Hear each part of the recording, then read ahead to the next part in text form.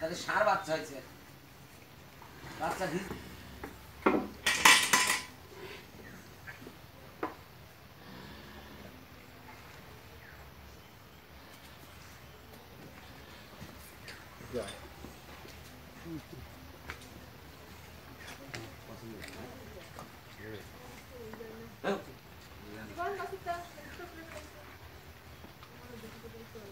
Os medos, então.